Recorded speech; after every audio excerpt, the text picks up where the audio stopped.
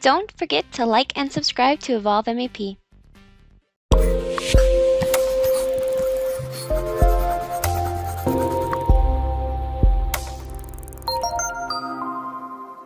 Hello, this is Amber Zinke with Evolve Electrical. Today we're going to be talking about the optimized bend features in Evolve Electrical.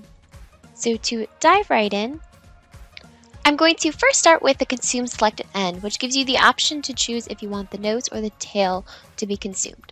So we're going to first select the bends that you want to be consumed, and then you're going to be choosing if you want the nose or the tail to be consumed and then you'll be pressing finish. And as you can see, now those have been consumed and you get that true representation for your prefabrication. Now let's say there is some design changes and you want to go back to the default of your bend. You have the ability to do that with the reset bend feature.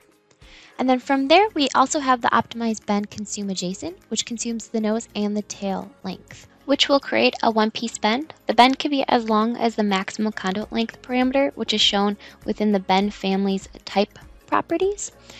Consuming the bend is great for being able to show that true representation of what you would be seeing in the field or the shop. So from there, we also can align our couplings to make sure that everything is nice and aligned. So as you can see, now our bends are optimized, our couplings are nice and aligned, and we're ready for prefabrication.